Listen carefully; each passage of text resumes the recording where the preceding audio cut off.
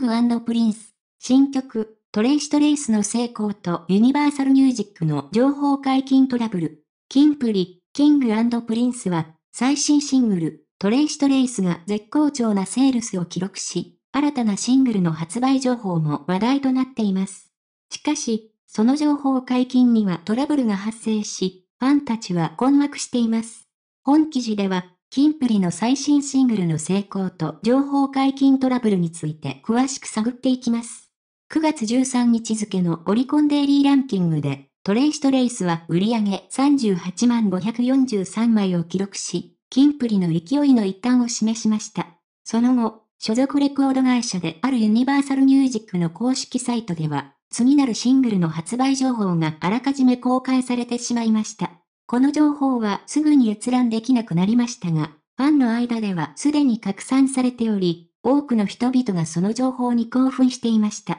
キンプリはジャニーズ事務所とユニバーサルミュージックが共同で設立したレーベル、ジョニー、S ユニバースから活動しており、ファンの書き込みによると、ユニバーサルミュージックの公式サイトには、ニューシングル、月読み、彩り、ユニバーサルミュージックストアにてツアー会場限定特典付き CD 予約受付、決定、というお知らせが掲載されていたとのことです。このお知らせによれば、11枚目のニューシングルは11月9日に発売される予定であり、現在開催中の全国ツアー、キングプリンスアリーナツアー2022、チルダメイドインの宮城、愛知、福岡、北海道の4会場で特典付きの CD 予約が行われるとされていました。しかしこの発表は、誤って前日に情報が公開されたものであったようです。この情報解禁トラブルにより、ファンは戸惑いとともに批判の声も上げています。キンプリの公式ツイッターでは、この情報解禁トラブルに対して何かしらの反応があるかと思われましたが、公式ツイートは、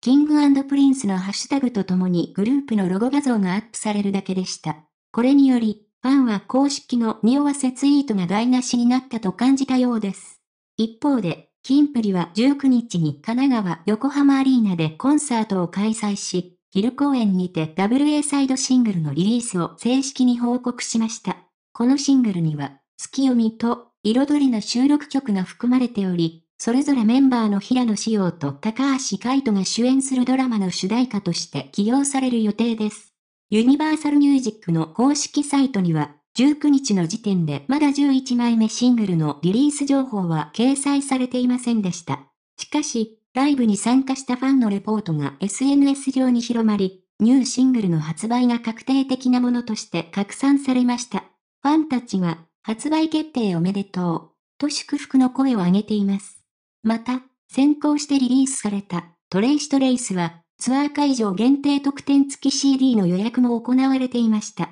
初回限定版 A、B 及び通常版の予約に応じると、チケットホルダーがもらえるキャンペーンが実施されました。最初は3会場のみでの実施が発表されましたが、後に横浜アリーナ公演でもキャンペーンが行われることが発表されました。さらに、今後の宮城、愛知、福岡、北海道の会場でも、月読み、彩りの予約をするとチケットホルダーがもらえるとのことです。トレイストレイスはオリコンデイリーランキングで初登場1位を獲得しましたが、ツアー会場限定特典付き CD が売り上げにどのように影響したかは明らかではありません。しかし、今回の情報解禁トラブルによってもたらされた混乱を考えると、ファンたちにとっては心配事でもあります。キンプリの最新シングル、トレイストレイスの成功は明らかですが、情報解禁トラブルが伴った月読み、彩りの展開については今後の動向が注目されます。ファンは引き続き彼らの活動を応援しており、新しいシングルの発売に期待を寄せています。